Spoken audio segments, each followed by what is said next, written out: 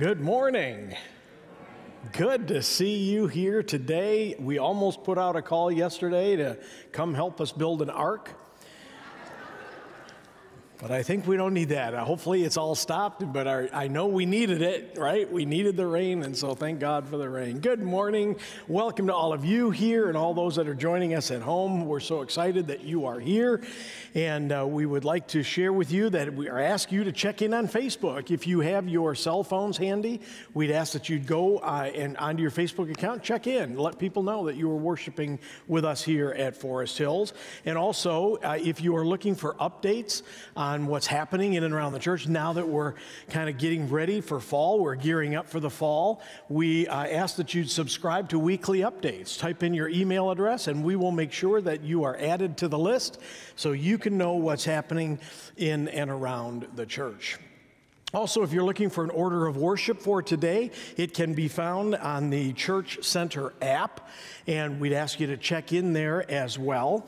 Um, also, if any of you are in need of prayer at any time, we ask that you would go to our website, fhpcusa.org slash prayer, fill in the prayer request. It'll be sent to the deacons and the staff, and we would be honored to pray with you and for you. If you would like to give an offering on your way out, the baskets are there. We would appreciate anything that you can do, or you can, again, on your Church Center app, you can go and you can text the amount you wish to give to 84321 and just fill in the blank, whatever you'd like to do, or simply send in a check to the church office, however you would like to give to the ministry here at the church.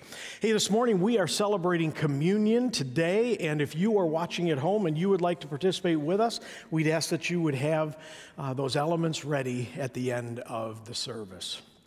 Our amazing deacons need your help. Uh, they are looking for information on members and family members and families who are in the military as well as in college. They need addresses, emails, birth dates, and graduation dates. Any information that you can give that will help them, please send it to Patty Zimmerman or Kathy Collins, or you can send it right here to the church office and we will make sure that they get it. Today, our golf outing happens. I think, Jim, is that right? We're still on, and I'm guessing pickleball is still on. We're, hoping, yeah, so both pickleball and uh, the golf outings are happening this afternoon, and all the information is there on the screen. Now, lastly, here's something I really want to share. I'm so excited about. We're asking you to save the date of September 11th. It is our annual kickoff event that we will be having here during the worship service. Our chancel choir is going to be singing. Yes. We are so excited about that. We have a guest director who's coming in, um, and we are so excited that uh, if you would like to be a part of that choir, you're going to be notified hopefully by email, and it's going to be an early Sunday morning rehearsal, like 8:30, and then you will sing during the service. Um, also, we're introducing our brand new bulletin that is going to be starting again now on September 11th, and then also following the service, we will head into the fellowship hall and there will be tables again of different ministries happening, and you can sign up. There's also going to be a drawing for a very, very nice gift. If you sign up for uh, something in and around the tables, you'll hear more about that. We are really excited to kick things off here uh, on the 11th of September. So please save that second Sunday in September to be here and be part of that celebration.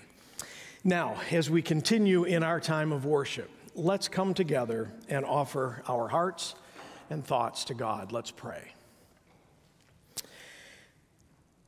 All knowing God,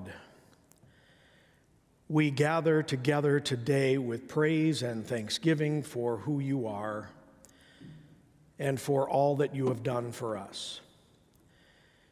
You know us better than we know ourselves, all our thoughts and actions and yet you love us. No matter where we go or what we do, your love encircles us ahead and behind, gently leading and guiding and blessing. Lord, we praise you for your love and your faithful presence in our lives. May your spirit move in our hearts and minds this morning as we worship together. examine our attitudes, our actions, and lay bare the things we need to confess, and challenge us with your word, and guide us onto paths that lead to life. For we are your people, called by your name. In Jesus' name we pray. Amen. Amen. I invite you to stand as you are able as we lift our voices to God.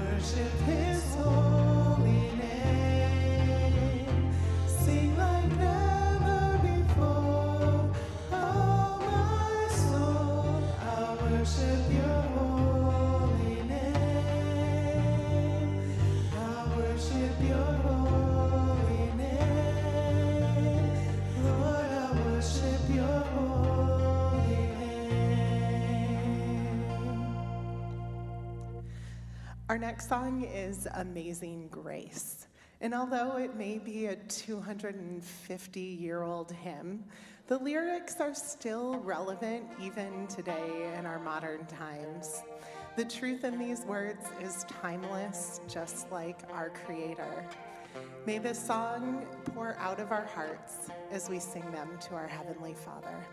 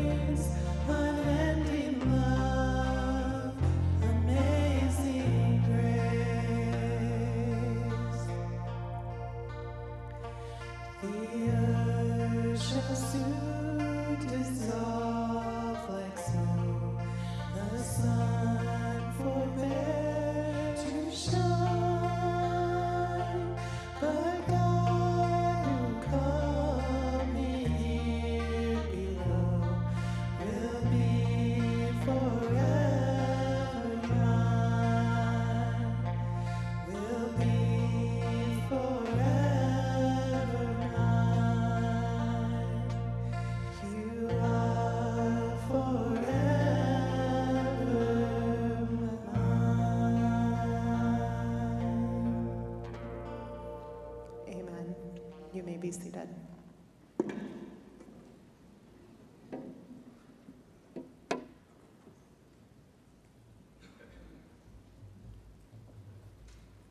Good morning. Today's first scripture reading is from the book of Psalms, chapter 82, and we hear it from the New International Version. Yep.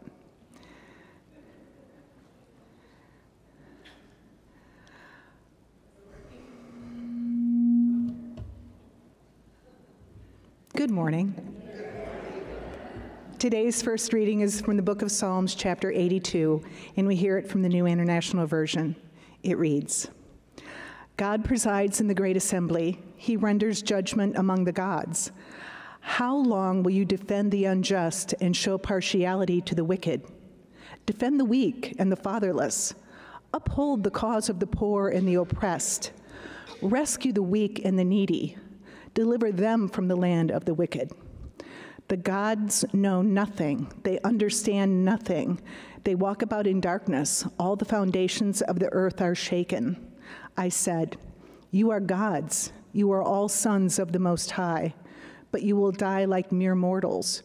You will fall like every other ruler. Rise up, O God. Judge the earth, for all the nations are your inheritance. This is God's word for us today. Let's remain seated as we sing our next hymn.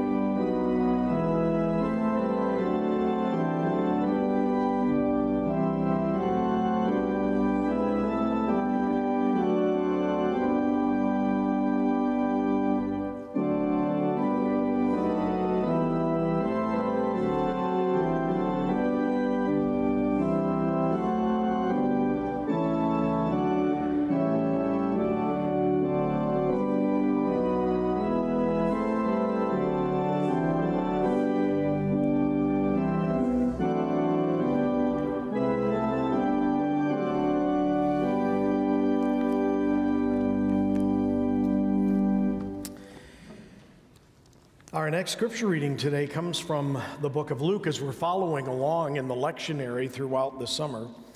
This is Luke 12, beginning at verse 35, talking about watchfulness. Listen again for God's word.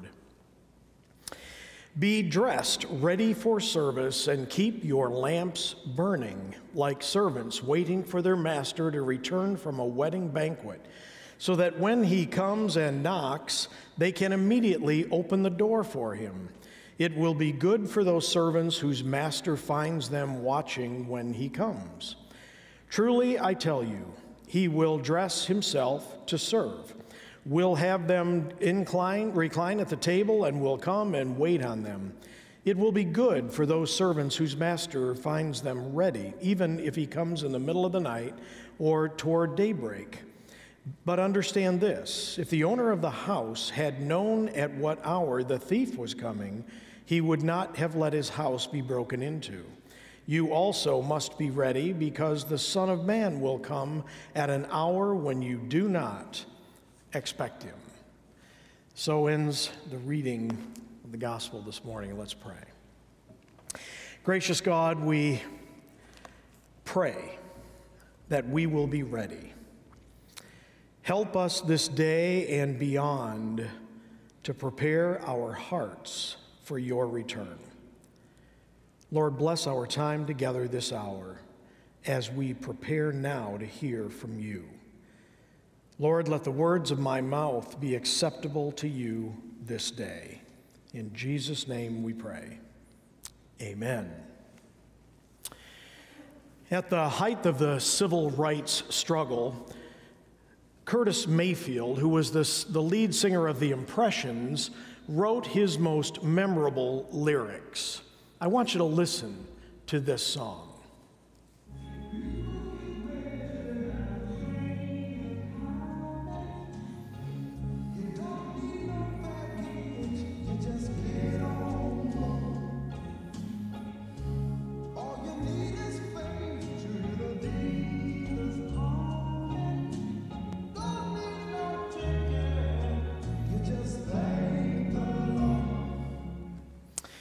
You just thank the Lord.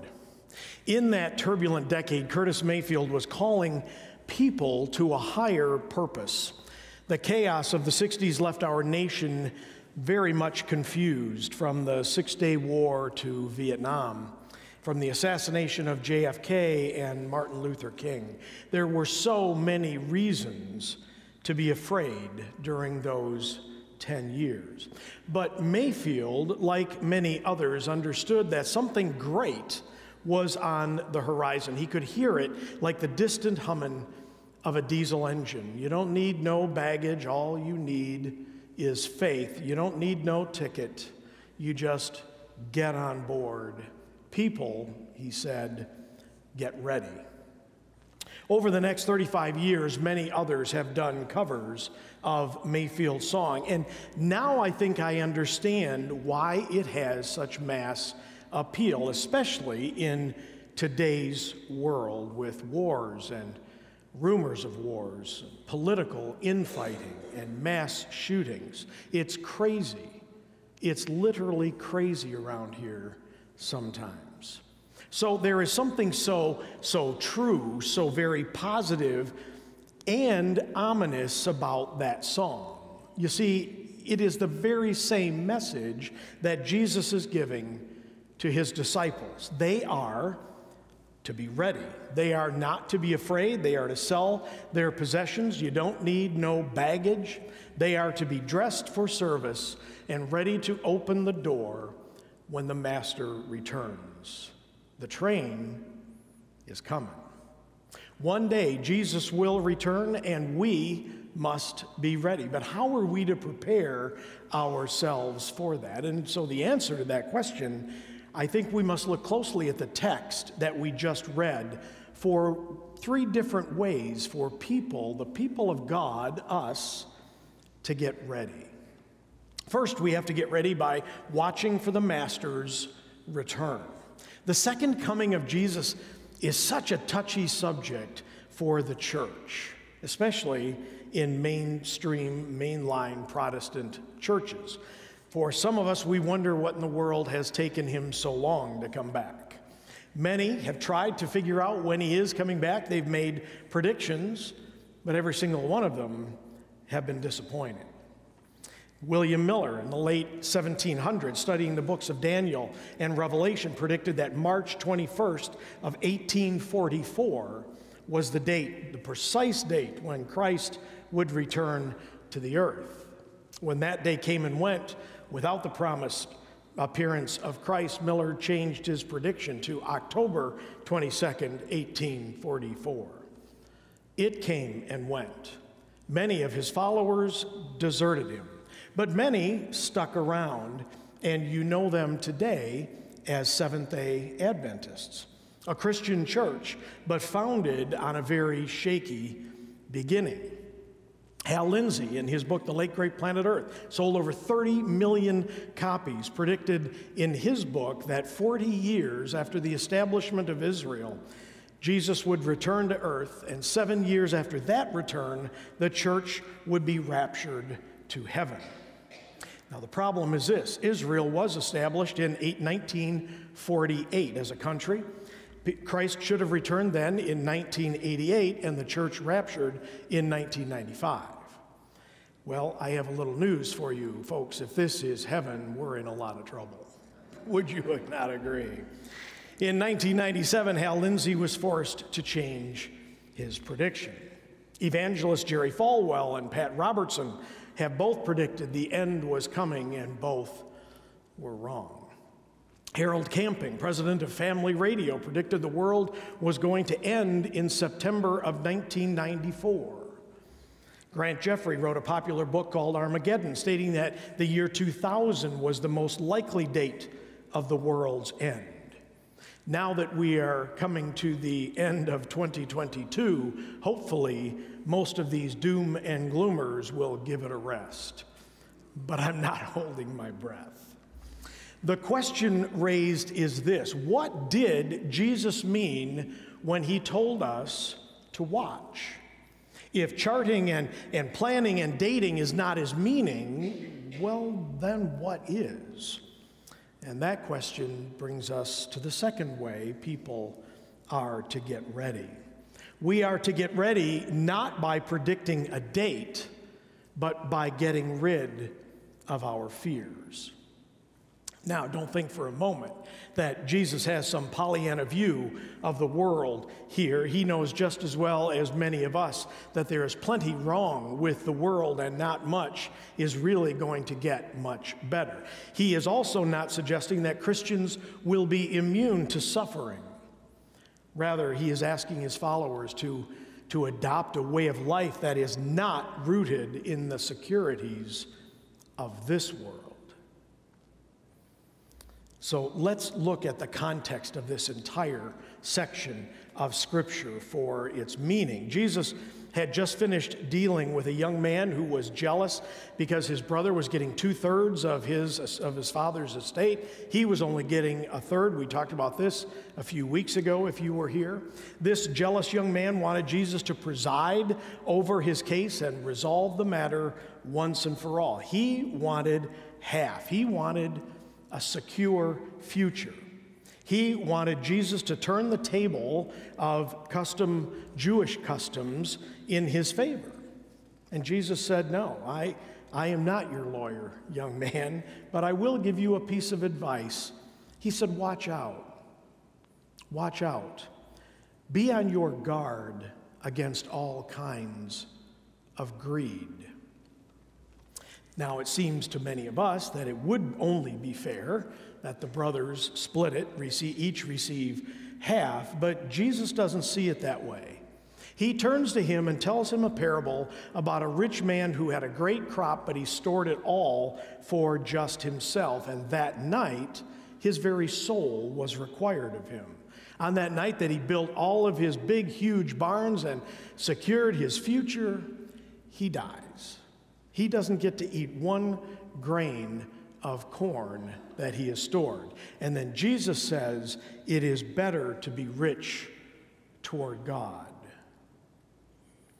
Jesus then turns away from this young man. He now addresses his disciples. He says this, this this fellow is worried about his life and he's worried about how it's all going to turn out. And he says to his disciples, "Look, I don't want you to worry about that. I don't want you to worry about what you're going to eat, what you're going to drink, or what you're going to wear. And then he says, Consider the ravens, consider of the air and the lilies of the field. He says, Doesn't God take care of these?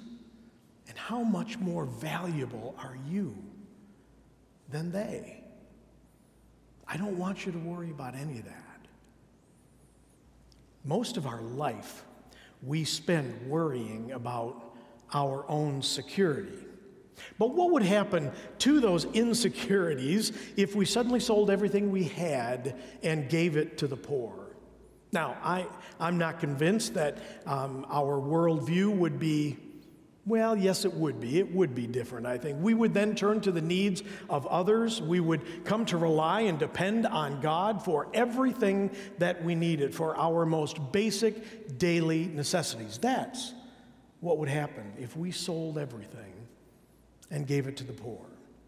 Now, let me say this I don't think that God is asking you to sell everything you have and give it to the poor. I can see the relief on some of your faces. Let me share with you one of the struggles that I have as a pastor. as I read scripture, I come upon some of these very difficult sayings of Jesus, like, like this one sell all you have and give it to the poor.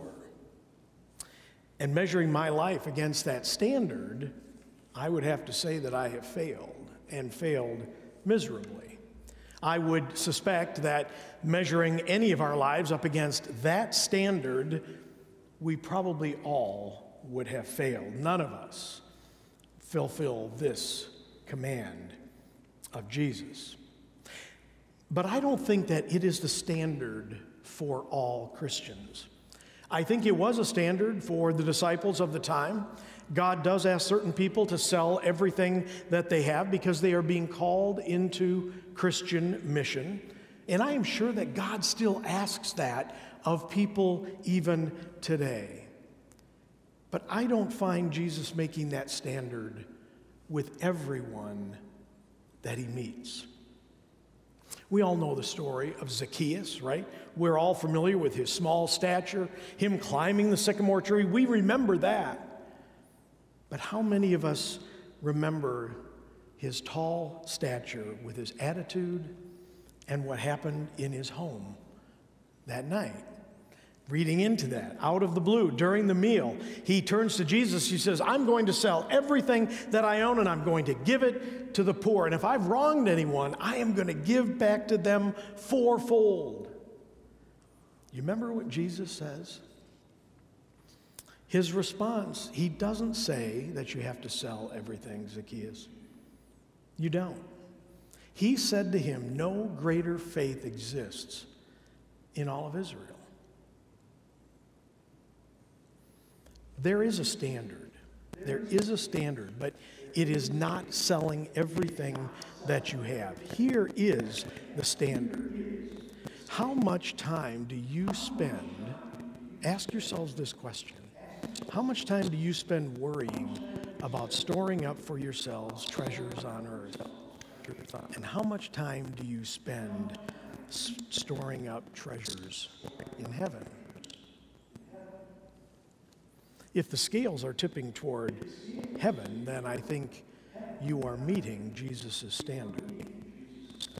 Where are the scales tipping for you? And then that brings us to the third way that pe- the people of God are to be ready or to get ready. We are to get ready through service. Through service for all the words that we use to describe Christian behavior, there is none better than servant.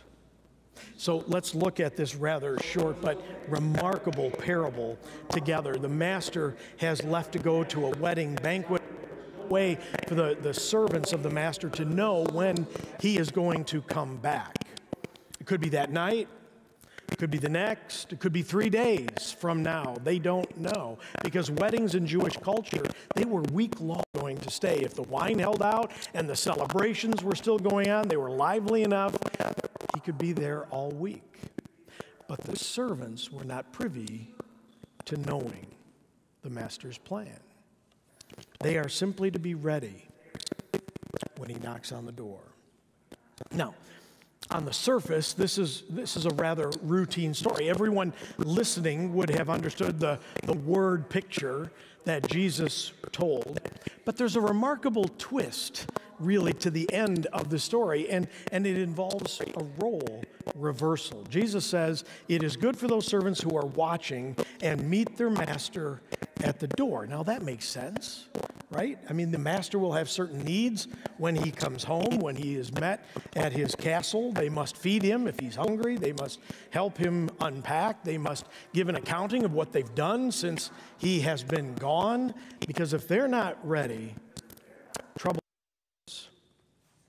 And this, this makes sense. But it's not how the story ends. It isn't. At the end of verse 37, it is not the servants who wait on the master, it is the master who waits on the servants. Now that's different, isn't it? A little odd. Even we might say it, it will be good for those servants who are ready for the master not because there is this, this threat of punishment for unalert behavior but because there is the promise of a lavish master who graciously upon his return treats and gives to the servants. He gives to the servants sets them down and serves them. It's quite a different picture that we have of a master and a servant. One where the, the rewards are great, the beyond measure, and grace is abundant.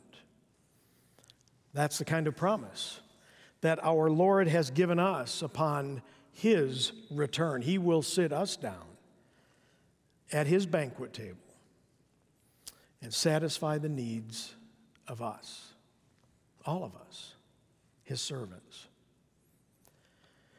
There's a story of a famous businessman who has a net worth of over $3 billion. One day, his man, this man's limousine broke down on the Garden State Parkway on the way home from Atlantic City during a weekend excursion. An unemployed auto mechanic stopped to rescue him, and he succeeded in fixing the limousine and getting it up and running, but he refused to take payment for fixing the limo. The wealthy man was so impressed that the next day he sent flowers to the mechanic's wife, along with a certified letter stating that the man's mortgage had been paid in full. He was asked about this in an interview and asked him to deny or confirm the story, but he didn't give any details on what he did for this Good Samaritan mechanic. And I thought to myself, what a great deal that would be, wouldn't it? If someone really rich would take care of all of us. Wouldn't that be great?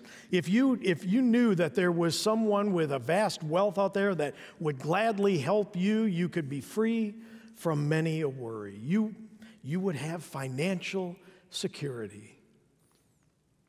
But I think unless your name is Hilton or Kardashian, it's not likely.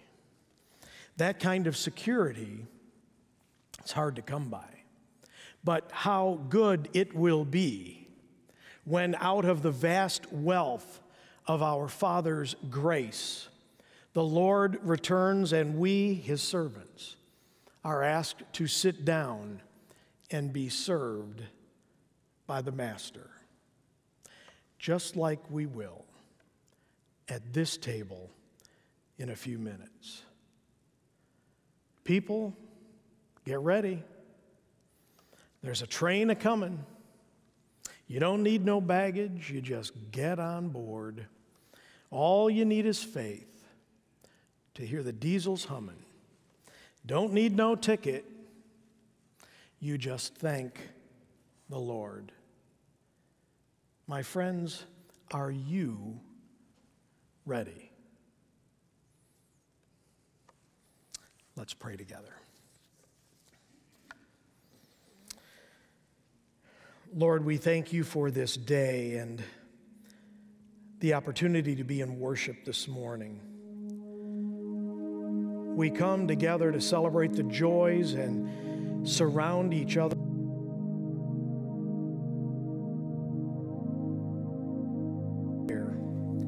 And we are grateful. Lord, in the scripture reading this morning, you tell us not to be afraid of what the future holds, not to worry about tomorrow. But you also know how difficult we find it to heed those words because we worry. We worry about so many things our families, our friends our circumstances, the wars that surround us, the pain and suffering of so many people. Some worries are big worries, but most worries are tiny concerns in the grand scheme of things. We come before you this day with these big and tiny worries and with confidence, we know we can lay them at your feet. We bring our big worries about health and happiness and security for ourselves and for our loved ones. We bring big worries about the world that we live in and its future existence as we continue to fail to address so many ecological problems. We bring big worries about the way people in our world are treated as less than human, exploited, tortured, helpless, and abused. We bring the worries of war and the suffering of many. Father God, we know that you are concerned with every aspect of our lives. And so we also bring the little things that concern us, the worries which keep us awake at night the worries which only you know. And so, Lord, in this time of silence that we offer to you now, hear our prayers, both big and small, but of concern to each and every one of us. Lord, hear our prayer.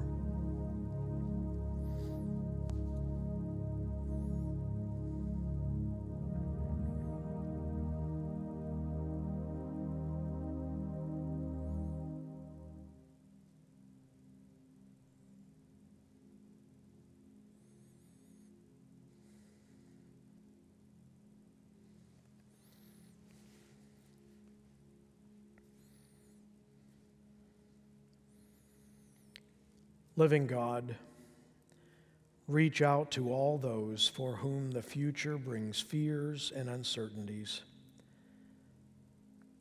Assure them that you are with them, even when that future seems dark and circumstances feel like they are spiraling out of control. Remind them that you are able to transform even the bleakest of situations bringing healing and wholeness. Lord, we make our prayers in faith because we know that your Spirit is at work in our world, making all things new, and we are grateful. Open our eyes to see and our hearts to know that you are here now, O God, hear us as we speak aloud the prayer that Jesus taught us all to pray together, saying, Our Father, who art in heaven, hallowed be thy name. Thy kingdom come, thy will be done, on earth as it is in heaven. Give us this day our daily bread, and forgive us our sins as we forgive those who sin against us. And lead us not into temptation, but deliver us from evil. For thine is the kingdom and the power and the glory forever. Amen. On the night that our Lord was betrayed, he took a loaf of bread, and after giving thanks, he broke it. And he said, This is my body broken for you. Take, eat, all of you. Do this, he said, and remember me. And then he took the cup. Said, This cup is a new covenant in my blood, shed for the forgiveness of sins for many, for all, for you. Take, drink, all of you. Do this, and remember me. This morning we serve communion by method of intinction when the elders are up front we invite you at your leisure to come up the center aisle, make form two lines, take a piece of bread and the cup, partake of it, and there are receptacles on the way back to your seats by the side aisles. If you are not able to come forward, just remain in the pew. I will be walking around, and it would be my honor to serve you in the pews. We also have gluten free wafers available if you prefer. This is the table of our Lord, prepared and now ready for you.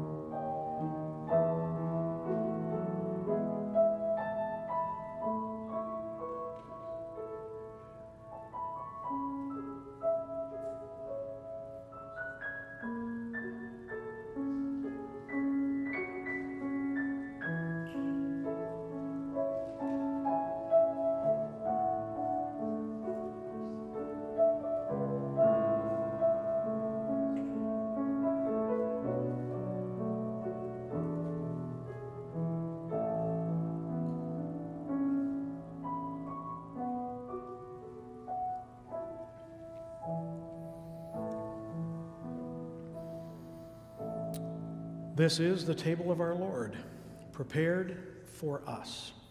Let's pray.